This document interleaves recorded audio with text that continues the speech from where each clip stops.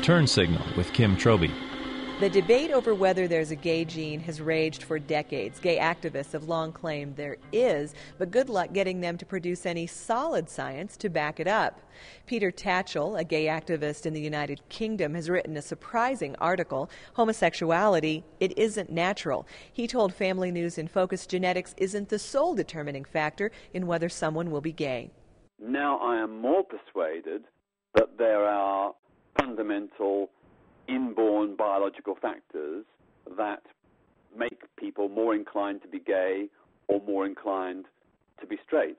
But I think it would also be equally foolish to close the door and say that it's simply down to biological factors. There's no other factors or influences that uh, impact on a person's sexual orientation.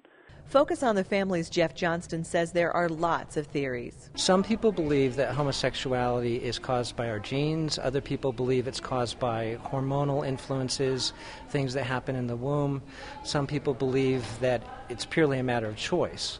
Um, what we believe is that it's a combination of a lot of different factors, including our environment primarily.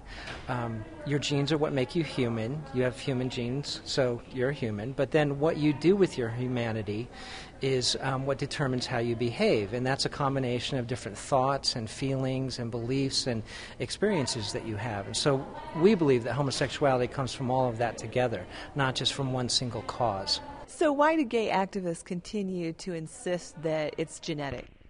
Because if it's genetic, then you can't help acting a certain way or being a certain way. And so then we should accommodate you because you can't help being that way.